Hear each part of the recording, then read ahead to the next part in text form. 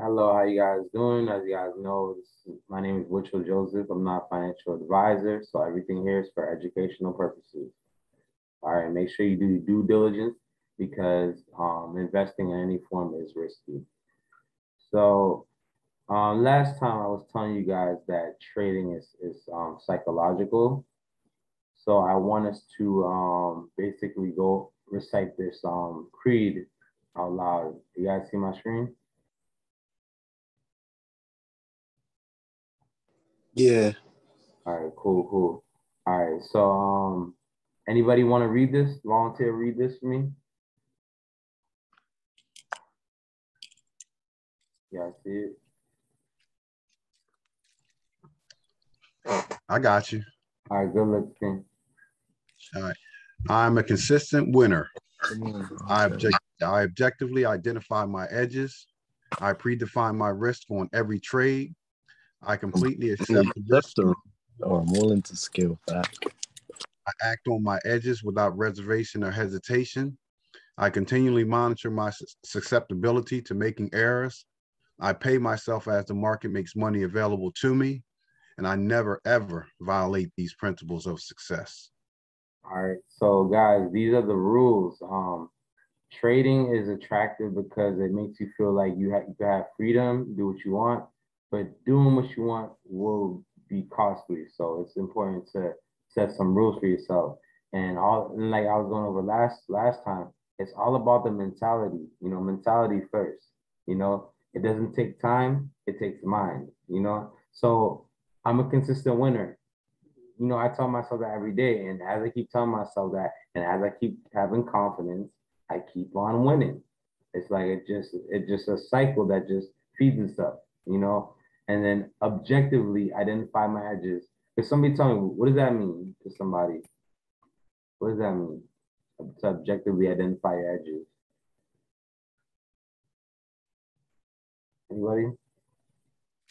I guess basically like if say you got like five things that you look at, okay, just randomly.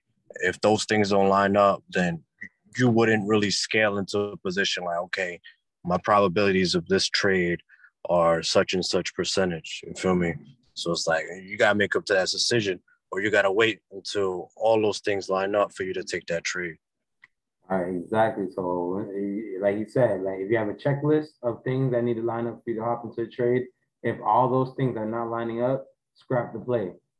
Don't enter because it's better to sit on your hands and save that money for the perfect play because it will come up. And we don't get paid for our time, we get paid for our opportunity. The objectively part, that means you can't have feelings. Oh, I feel it's gonna go up. No, no feelings here. Not what you feel. You need to have evidence. Okay. Um, predefine my risk on every trade. What do you, what does that mean somebody? What do you think that means, Sid? If you, if you still with us. Say that again. My bad. Uh, um, oh, I predefine my risk on every trade. The third line. What do you think that means? I predefine my risk on every trade. So that means you already have a risk to reward in your mind Mhm. of um your, your two targets. Exactly. But then the very the most important part is risk. So a lot of people trade Yeah. and they only think about the upside. You have to approach approach trading from the losing side first. Think about your loss first. Because if you ask people, oh, um, do they accept the risk? They'll be like, yeah. Like, no, you only think about winning. Are you really okay with, with losing everything that you put in? If not, then you didn't accept the risk. All right. You guys catch that?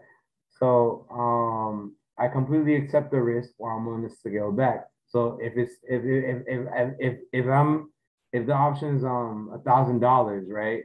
But I might win three thousand off of it.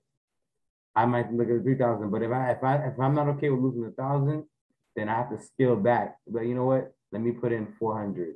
Let me put in three hundred, just to scale back. And and now if I lose it all, I'm way more content.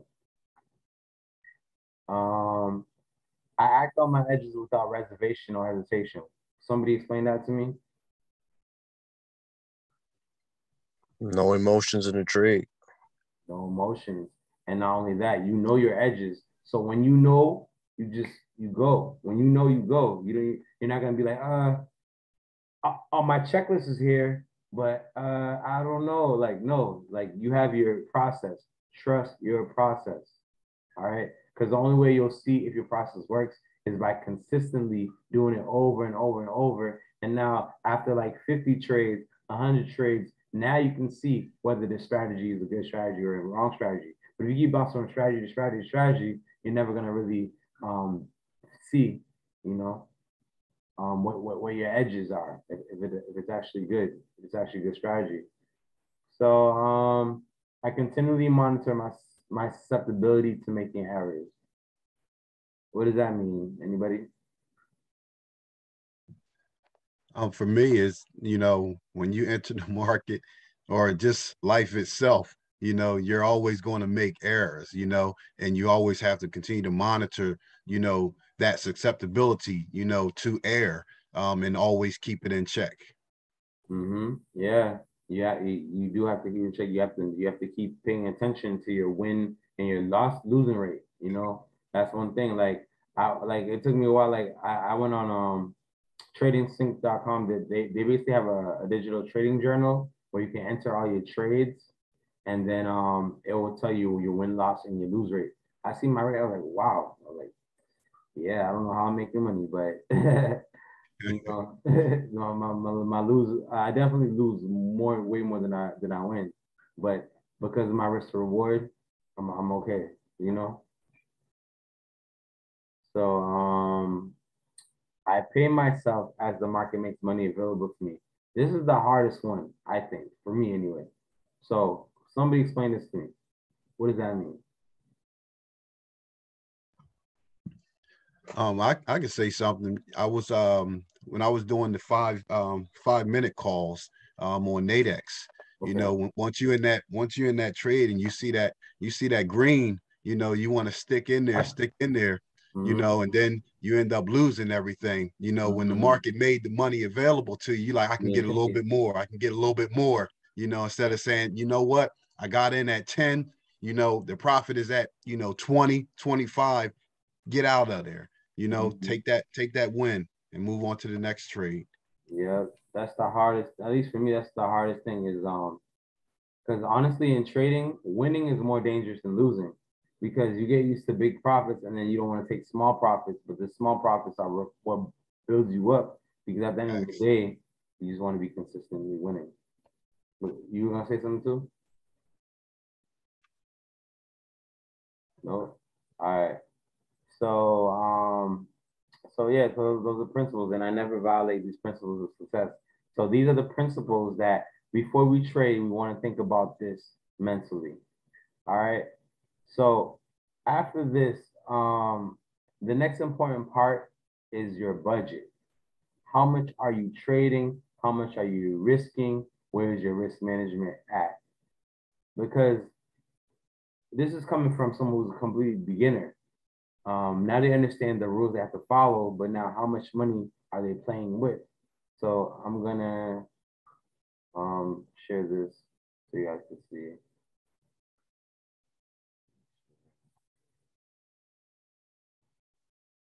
All right.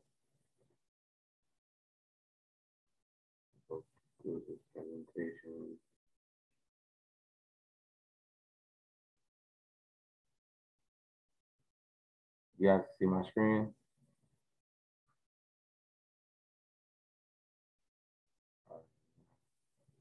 Slide down. Great. So budgeting, how much how much do we play with? And this is very, very important. Very, very important. And um, this is one reason why I focus on building small accounts and um, buying options for as cheap as possible that will give you some profit. All right, so let's go to this slide right here. All right, you guys see this? All right, so you need to know your budget. So now, stocks. So what the way that we're sizing up these options is we're looking at the price of the stock And based off that, that could give us relative um, contract prices. So stocks that have an IV that's greater than 50%. Can somebody tell me what is implied volatility? IV stands for implied volatility. What is that? Can somebody tell me? Uh, the likelihood, um, the likelihood that it will move, um, in price, dollar, uh, you know, points wise, uh, within that specific contract, uh, its time frame expiration, you know, date. Mm, so it's the, it's the price swing, the price swing. How big or how small of a movement this, the price will, will move. Right. Yeah. So now, if you have stocks that are more volatile, that that have a volatility of above 50% that can move more, um, you want to basically have the you want to have the the stock price, whatever price the stock is, to be about five percent of your account. All right. So basically, let's say a stock price is fifty dollars for the stock, then you want that fifty dollars to represent five percent of your entire account. Does that make sense? So that would be a, thousand dollar account based off that five percent. If I did my math right. So then um you want five to so you want to risk five to no more than five to 15 percent, no more than 50 percent. I would stick lower to the five, maybe 10 percent side, or stick closer to the five percent start, side, especially when you're starting off and you don't really know anything. So stick to the five percent when you're starting off, and um, that's how much you're gonna risk per trade. And then per contract, you're going to risk 1% to 5% because what you want to do in order to maximize your contracts, you want to buy, I would say, at least three contracts. And I'll explain why um, three is a good number. Because the main thing is you want to buy multiple contracts so that you can scale out. And I'll go into it. So first, so more, so let's use some real numbers. So let's say you have a $500 account. So that means that when it comes to stocks that are volatile, we're looking for price ranges of $25 max for the stock. You guys following me? You guys have any questions? Want to make sure you guys are following me. No questions? All right, great. So that means we're risking about 25 to 75 per trade. That equates to $5 to $25 per contract. So if you have a $500 account, you're only risking 25 to $75 max per trade. And you're only risking $5 to $25 per contract. Why? Because that falls within the, the 5 to 15% per trade and the 1 to 5% per contract.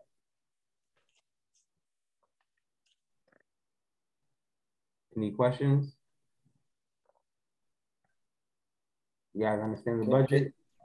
Can y'all can you make good returns with that? Yeah, because because it's all about the returns. It's not about the dollar amount. You see what I'm saying? Or is that what you meant to ask about the dollar amount? Yeah, yeah, like the dollar amount return. Because you, you you get the difference though between dollar amount and return. I mean, 20. So how much would $25 if, if obviously everything goes your way, would mm-hmm. you kind of like expect so, to so, get? So for example, if you get 100%, that means you double the $25 and you made $25 off of your $25. But that's only $25 as a return. Do, do, you, do you get what I'm saying? Yeah, yeah. Even though it's only $25, you still doubled up. So your return is high. You get 100% of your return. But the dollar amount is only $25. That seems small. That's what I'm saying. So so so so yeah, you can because honestly, if you ever look at the contracts that I trade, this is my price range, to be honest. And I'll show, I'll show you guys in a minute. Um, I think I showed you guys the other day contracts that I bought on um SQQQ and SDS. I bought I bought them at 15 dollars a contract. I bought three of them, and then um they yesterday went to 36 a contract. So 15 to 36, that's more than double. Do you see what I'm saying? So Yeah, no, it makes sense. Yeah. Yeah, so that, that's an Good, example. bro. You don't need much money to start. It's about buying quality and knowing what to buy and knowing um what, what moves the most. Because it's all about move. If it moves, it doesn't matter how much you're paying for it. Um, so now um let's talk I got a about question. go ahead. Did you also say to buy three contracts? Yes, to buy three contracts. So So the sum of the three should equal that one to five percent, or like each contract would be the one to five. per contract. So each contract would be the one to five, and um, the Okay. five to fifteen would be per trade. And this equates to these numbers right here. So if you have a five hundred dollar account, the the you're looking for stocks with a max price of twenty five dollars a share, and now the amount you're you're spending per contract is five to twenty five dollars per contract. If you're buying three at 25, the most you can spend is $75 for the trade. If you're buying three at five, the most you spend is $25 for a trade. So you can buy the contracts in between those prices. Is that clear? Yeah, I was. Uh, I don't know. I, I don't completely understand the contracts. Is that So the options trading? yeah, yeah. So options Okay. are, are when you buy an option, you're buying a contract. Options are contracts. They're not shares. They're not stocks. Okay, so these are all just three different ways to invest into the market, right? Like the per trade and per contract in No, the stock so- mix. So no, no. So this is all one and the same. So when when when you're trading um an option, let's say you let's say you have seventy-five dollars to play with. Now on that trade, you can buy three contracts. So you can buy three contracts at twenty-five dollars per contract, which would make so like let's say you're buying Apple, you can buy three contracts of Apple, three calls. Let's say you think Apple's gonna go up, you could buy three call options of Apple, right? And now when you buy these contracts, you're paying twenty-five dollars each. Does that make sense? Yeah, that that like kind of tied it all together. When you said calls, I was like, okay, that's what contract. Yeah. I get it all now. Yeah, calls the contract. Yeah. So that's per contract, that's per trade. So basically, you know, you you don't want to like let's say um the maximum amount of money you could spend 75, you don't want to just spend $75 on one contract. Why? Because let's say you bought at 75 and then it went to 80. You immediately sold off at 80, right? Then later on in that day, it goes to 200, 300. You if you have more contracts, you could sell one at 80, hold the other two, sell the next one at 120. So you, you understand? You could scale out. Right, right. So you can basically still collect your profits and then Yeah. also still kind of play around. Exactly. Yeah. Exactly. And this is why we, we, we recommend, well, I recommend three, three contracts at least, at least. Because because that way I can scale out on thirds. I could sell I could sell my first one at like 50% or 100%. And then I could sell the other one at like 100% or more than that. And then the last one I could leave as a runner and see how, how high we ever go and play. Play with house money. So that's why we do that. So now this is for stocks that have an implied volatility that's higher than 50, stocks that move a lot. And I'm going to show you examples after I go through this. So now let's talk about stocks that don't move as much. So let's say you're playing with stocks that have an implied volatility less than 20%. So now you can look for stock prices that are a little bit higher. So now you can look for stock prices that would basically account for 10% of your account. All right. But you're still keep you're still keeping the five to 15% per trade, and you're still keeping that one to five percent per contract. We're still keeping that. The only difference is that we can look for higher stock, higher price stocks because they don't move as much, which means they'll be cheaper. So let me let me let me do an example. So the same same thing um, on five hundred dollars. The stock before when it was volatile, we were looking for stocks that were up to like twenty five dollars per share. But now we can look at stocks that are fifty dollars per share, maybe even seventy five, because the fact that the stocks are less volatile, that will mean that it'll be cheaper to buy the contract. All right, because we're still. Go ahead. So I had a question. Everything clear? All right. So um, we're still spending the same budget. It's just um 50 dollars a share is the max that we, we could trade. So now let's look at some actual examples and um and go over our budget. All right. Let me go to first. I'm gonna go to a more volatile stock, and then I'll go to a less volatile stock so you guys can see the difference. Mm.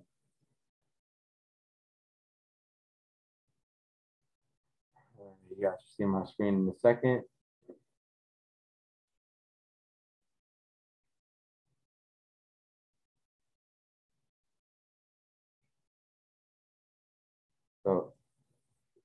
As you can see, this is Palantir. And I'm looking on Robinhood. So it's not quite at 50, because I think I did say like 50% or more. But it is this is a pretty volatile stock. If you know anything about Palantir, it's fairly volatile. All right.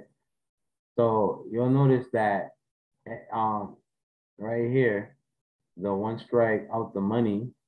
Um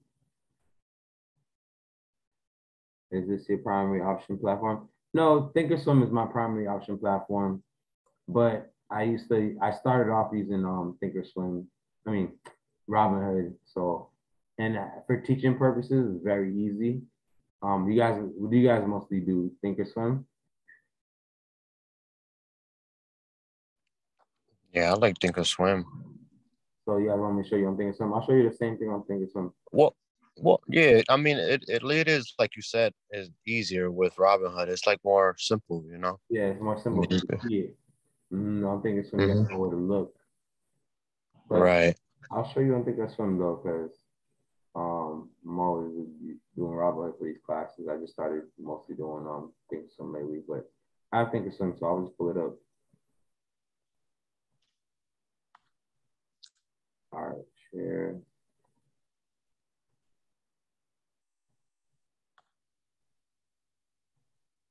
All right.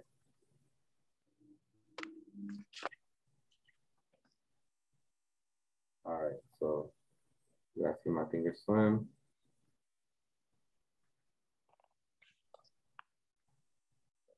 All right, so I said Palantir, P-L-T-R. So on Thinkorswim, you already know you go to trade tab and then you can type in what you're looking for. So let's just look at the options expiring this week. All right. So I was looking at the near the money, I was looking at the 18.5 call. Yeah, the 18.5 call. So right here, you'll see that the 18.5 call, um, what was I looking for again? The volatility. All right. So let's go to the 18.5 call. It's this one right here. So that's the one that we're looking at. All right. Um, so you notice right here, implied volatility right here. You guys see that? So that's where you find your implied volatility. And I was saying stocks that were like 50% or above were considered more volatile. This kind of like didn't make the cut today, but depending on the day, will make the cut, you know? So this is an example of a volatile stock. So now, if we have what, 25 to $75 to play with, then we can buy two contracts at $32. You guys see that? So that would be one trade where I'll be able to buy two contracts at this price. So if I wanted to get in more contracts, I can look at the $19 call for um what is it? For um basically 1350, basically between 13 and 14 dollars a contract. So that way I can buy maybe three, four, up to five contracts. You guys, you guys see what I mean? So that so that's how I would play with the five hundred dollar account if I was to buy these options. All right. So this is a volatile stock, example of a volatile. All right. So now an example of uh no volatility stock would be something like AT&T. AT&T barely moves. So now let's look at the volatility, 22%. It's, it's, it's less than half of the previous.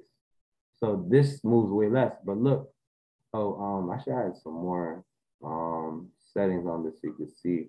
But that's one thing um you have on to how do you add?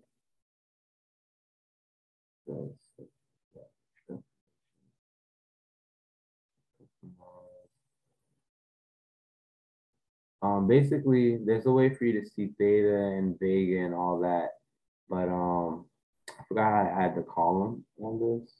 Is this one? Yeah, right here. All right.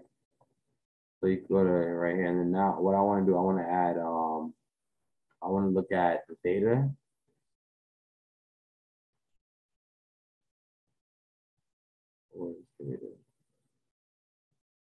Theta and I want to look at um, the delta. All right, boom. Add that. So now I got columns for theta and delta. You guys see that? So um, so here's the thing. Um, if you look at, all right, let's go back to PLTR. I can show you the theta and delta. So now if you look at the if you look at the $18.5 put, you'll see that the delta is 50. And as a like, I don't always do this rule depending on how much it moves, but a safety rule would be to try to aim for at least 30%, 30 delta or higher. So these two kind of fall into that range, sort of. So um, that's how I look at these two. But look at the delta and look at the theta. So you um basically if it moves a dollar, you make 50, but every day doesn't move, you're losing seven. You're losing seven dollars. Versus this one where you're losing five, but it's it, you're losing more of what you paid for, so you're actually losing more. All right. So now let's look at so because when you're first starting trading options, theta will kill you. So now you look at um AT&T, much smaller volatility.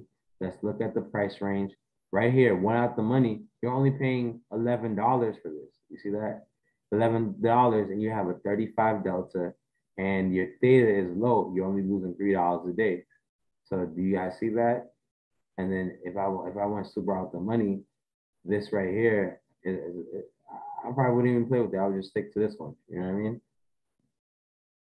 Any questions? You guys have any questions? What's the average implied volatility you look for? Um, 47% was too high, right? No, no. So what, what I was saying was two different scenarios. One scenario when you have a high implied volatility, and one scenario when you have a low implied volatility. You could trade either one. It's just knowing um knowing the volatility that of what you're trading. You know what I mean? Yeah, like I think with Tesla, Tesla would be considered like a high. High, yeah. Tesla would be high, definitely. Right, let's look at Tesla. Yes, LA. Tesla would be high. Look at Tesla, it's above 50%.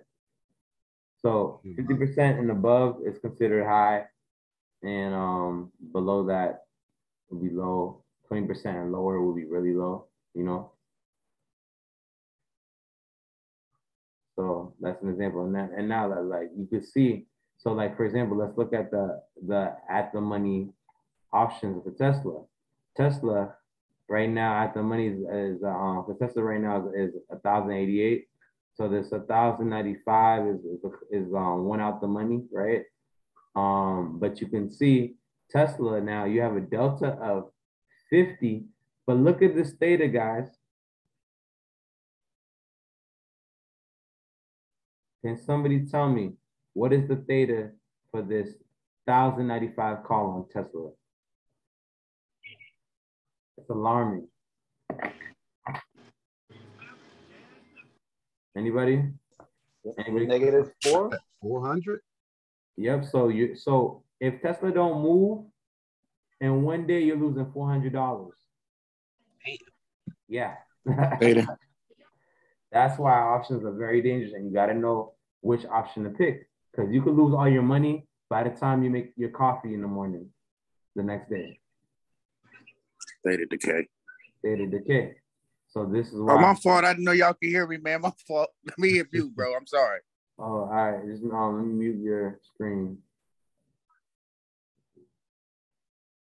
But um, but yeah. So um, uh, again, we um, if you guys are interested in the, in the recordings, um, I'll put the link in the chat one more time.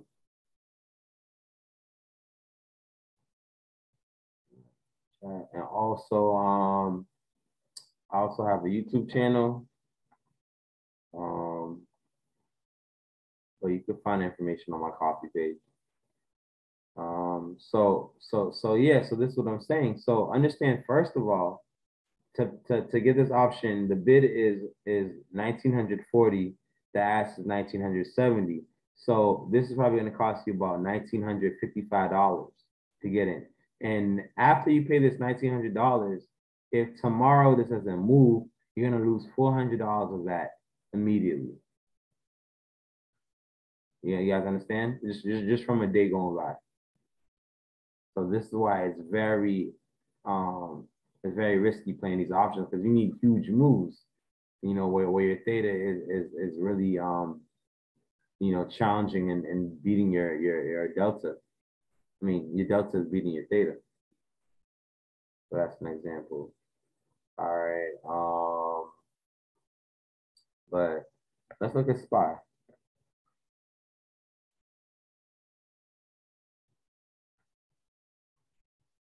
So notice that, you know, you see the implied volatility, it should go up as time goes by. That's just how implied volatility tends to work. Um, but even if, but here's here's the thing, you look at, so now the, the less time on the options, that usually the higher the theta decay. So let's get to some of these other monies.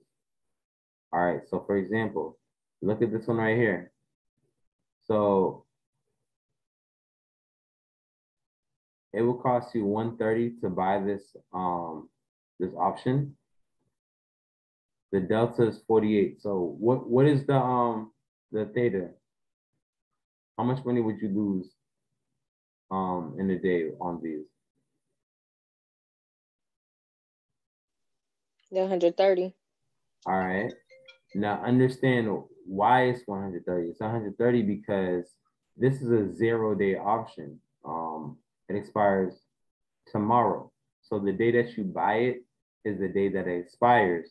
And you know that options, if the option is not in the money by expiration, then all of these are going to expire worthless. You understand? So right now these are out the money. So all of these are going to go to zero if the price doesn't move. You guys follow? So, so now a lot of times with these options, when it does move, you're gonna get high theta. So every time this moves a dollar, this option is making forty-eight dollars. You understand? So, you, so you're able to make more money um, in less time with these options, but it's it's more risky. But if you're if you're a scalper or a day trader, it might make sense for you to play these because you're in and out with it. You're not really staying in the play to really see what it can do. You're more in and out with it. All right. So does anybody have any questions? No questions? So I've got a question. Ahead. Um, I guess how do you determine what your strike price is based on like what the stock price is at and how much you're willing to put up for it? What, where the stock price is at and how much you think it's gonna move by a certain time. Um, yeah, it's, it's all about the move.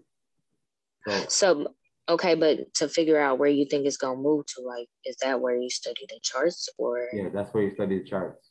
That's all Okay. chart charts and or any other reason you might think like news or anything else that that can move the price that you might use as an edge. But that's where your edge comes in.